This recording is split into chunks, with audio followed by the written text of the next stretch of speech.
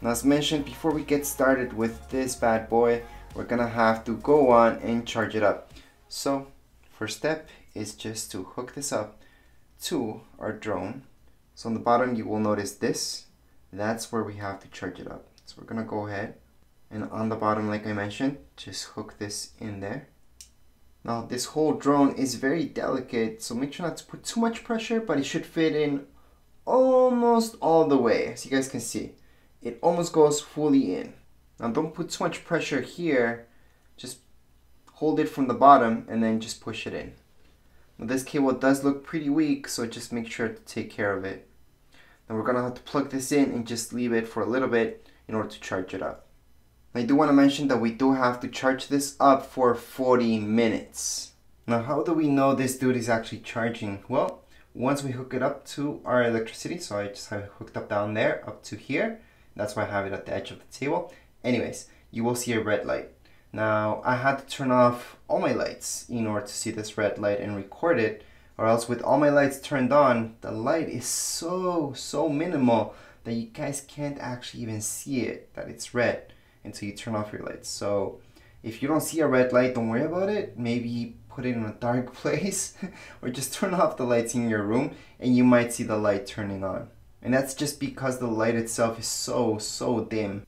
So how do we know this is fully charged?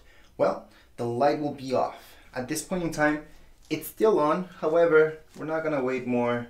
It's charged just about enough so we're gonna disconnect it and what we're gonna do is turn it on. So in order to turn it on, we're gonna see this right here, this button. Just press on it. There we go. So we can just hold on to the button. Just make sure to hold on to it until it turns on. You're gonna see those flashing. Then we're gonna see this green light, which is perfect. So the green light means exactly that, that it's powered on. And just in case to power it off, we're gonna do the exact same thing. We're actually gonna press down on that until it just powers off, one to two seconds. So at this point, we're gonna make this fly since it's powered on. So we just have to extend out our hand and then we're just gonna drop it. Okay. What I'm gonna do at this point is zoom out a little bit so you guys can see this better. And I'm gonna do this again. So what we want to do is just drop it down.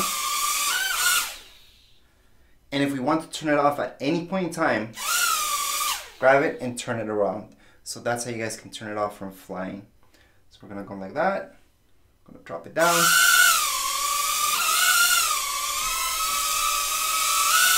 And I would highly suggest when you're playing with this to be in an open field or a room that's bigger than this. Right now everything's too tight around me so that's why this will bump into everything. Now remember to turn this off it's quite easy. We just have to press down on this button okay so there's the green light.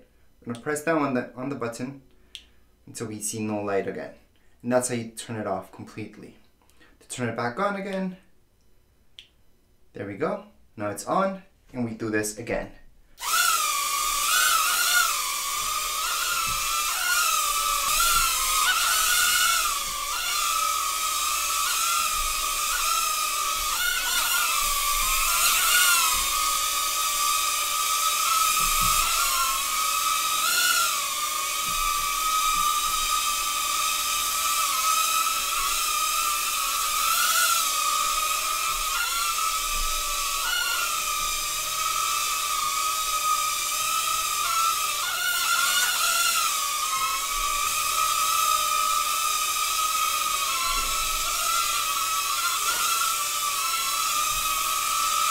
Now remember, when you're controlling this, it's not about touching the actual drone. It's just putting your hands around it unless it touches you. It's okay if it touches you. There's all this protective gear around it.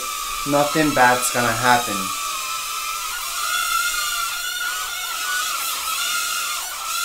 And yes, it can get a very, very messy play when you're doing this, but it's really, really fun. Anyways guys, that's it for this video. If you guys like what you see, make sure to get one of these guys. It's pretty fun. They don't last that long, and they go kind of crazy, but it's all about getting the hang of it. Anyways, that would be it for this video. If you guys have any comments, questions, you guys can write down here in comments area. Don't forget to subscribe and rate. Thank you!